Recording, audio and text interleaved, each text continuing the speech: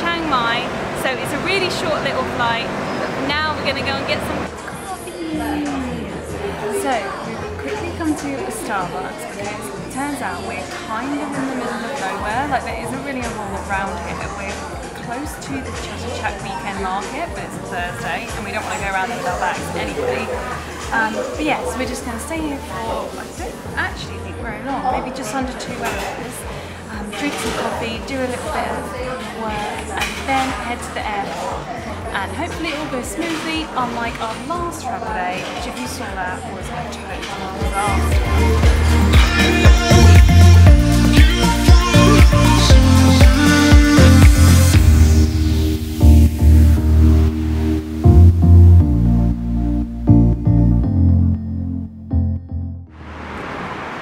Okay, so we left Starbucks because we thought we may as well airport because we were just sitting in Starbucks and we could do that in the airport. so we come back out. So I'm out of breath because we've just climbed up a few flights of stairs with all these bags on. I'm Oh, sweating so much. Sweating so much, it's disgusting. But yeah, anyway, we're going to grab the bus now, which is only 20 minutes, hopefully, um, until the airport, and then we can get rid of our big bag. Siren. Get rid of our big bag, and then feel a little bit lighter, and hopefully less sweaty. That's the plan. Okay, so I managed to wave them down from the road. Um, so yeah, hopefully, I'm pretty sure it's going the right area. We're almost like run into the middle of the road and wave them down.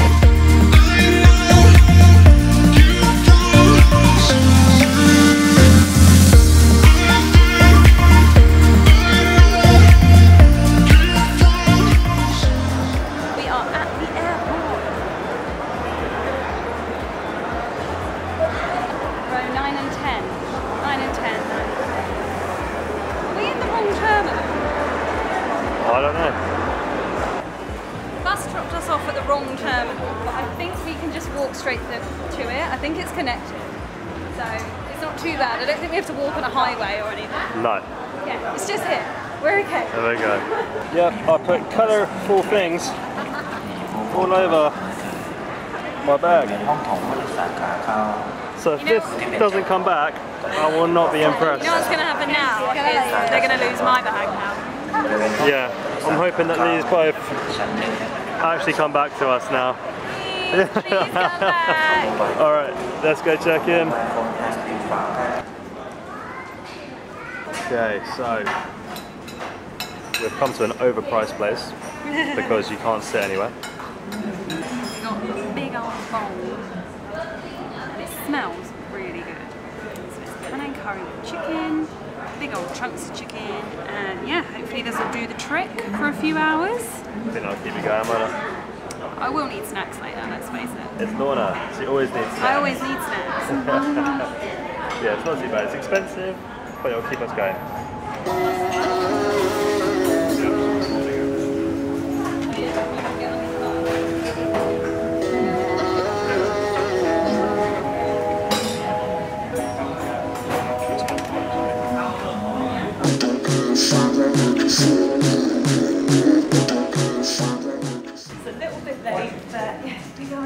Hopefully it will take ages to uh,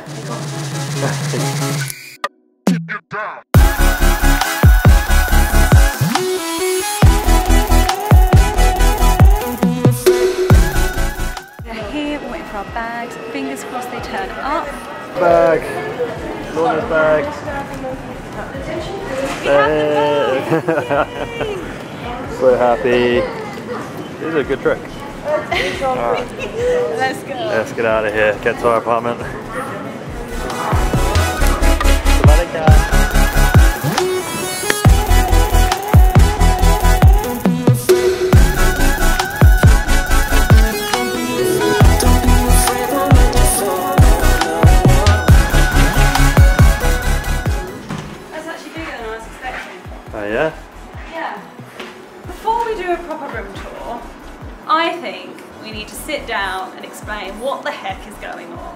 Do it.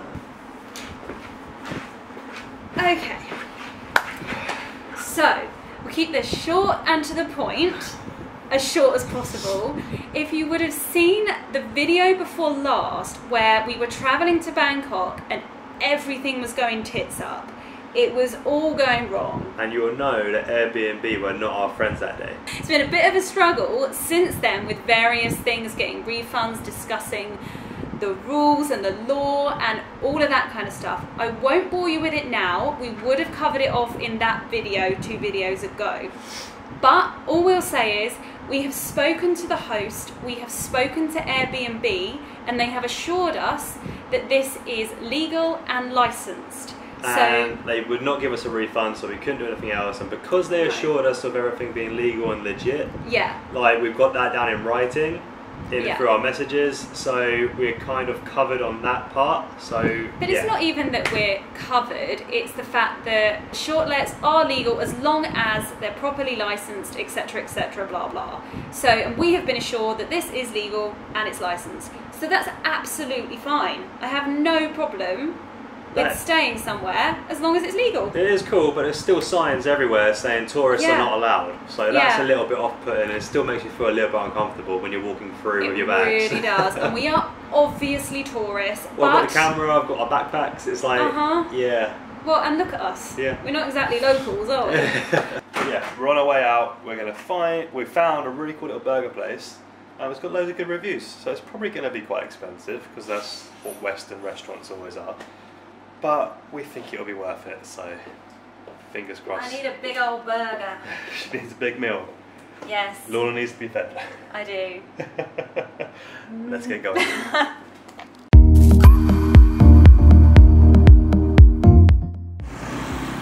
Okay, this place is called Beast Burger, which I love, and it looks so cute. Like everything in this place so far, it looks so.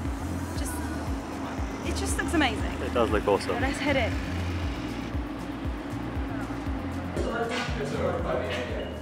You like the logo? I love it. It's so cute. it's so cute. But yeah, we ordered two big burgers and a side of sweet potato fries and a water, and it came to 4.65, which is what's 500 again? About 12 pounds. So it's probably about I'll write that down. Um, yeah, so it's not too bad. It's obviously more expensive than getting like a noodle dish in a local place. But we just really fancy the burger, and I have high hopes for this. I really do. Looks good. So I didn't realise we got these, so I ordered these. But yeah, we get one each. Yeah. Not a bad deal. They're like a good size. They're not like so big, you know, like you can't even pick it up, which sometimes I feel like they're too big. So it's good. It's pretty good. That is so messy. Mm-hmm. Can't make a mess of that. It is really messy, but it's so tasty. The sauce in it's really good. Well, that lasted all of two minutes. That And went I down quick. and it was gone. it was so yummy. The best burger I've had in a while. Really, really tasty. Probably the best in Asia, it. right? Best in Asia, definitely. Right. And the sauce is so good. Just the burger sauce. So, yeah, I could eat this like, I could eat another one right now. Like, hmm. it was that good. But yeah, Tony got the blue cheese one, and the sauce is so rich. Very tasty. It was very good. I am very happy with that. Seriously, so good. We had that one. Had that one. I feel like we've got to come back and try some more. Beast burger. I love it. I think we can easily recommend that, right? Oh, for sure. Without a, oh, there's a plate. Whoa. That is low. For sure. 100%. It's amazing. You have to go. Alright, let's head off.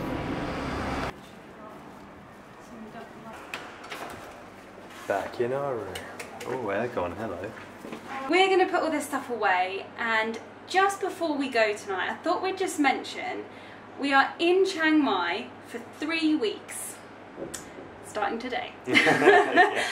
and for the first week, we are here in the Nimman area, and then for the last two weeks, we're closer to the centre of kind of like the more touristy area, the old town area.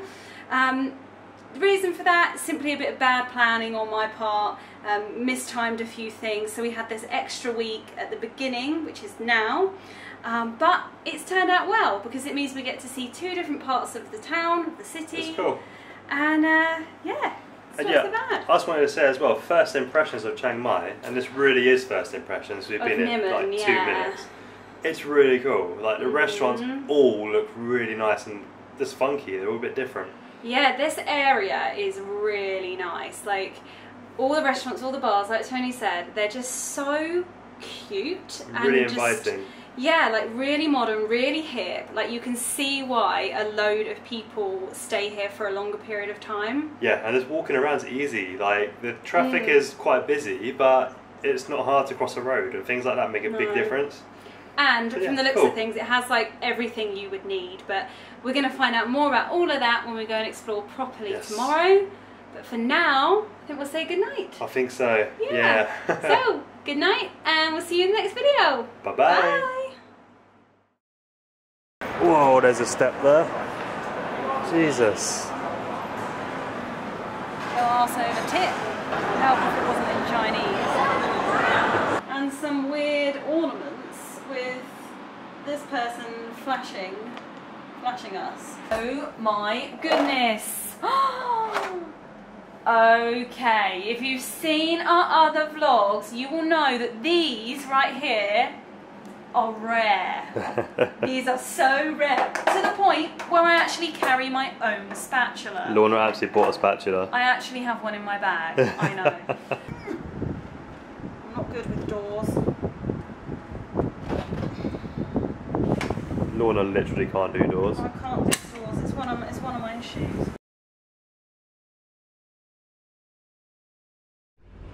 Okay, so we're not vlogging today, but we thought we had to round off the story of Tony's bag. My bag apparently turned up last night hmm. to the hotel. So I went down there this morning just to see, uh, just to let him know that my bag might be turning up, and he went, "Ah, bag." and I was like, "Okay, yes, that's my bag." Um, I brought it back up to the room. All was cool, and um, what, by the looks of it, from this little thing here, it went onto a Nok Airlines flight. Um, but anyway, I opened, my bag was kind of open. I was like, I kind of thought it would be because I thought someone would open it and go, "Oh crap, that's not mine." But everything's been taken out and put back in. And the person that thought it might have been their bag has literally gone through everything in my bag. It's all been Yeah. like repacked, unstrapped. But if it was me and I made the mistake, I would open the bag and go, oh, that's not mine. I'd Yeah. close it back up. I just think that's a bit weird. But anyway, my bag's here now.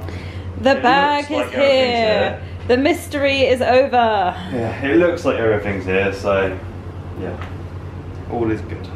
So this concludes the bag It story. concludes the bag story. Yay! Um, so yeah, fingers crossed that's it now. It doesn't happen again, but we'll see. the end.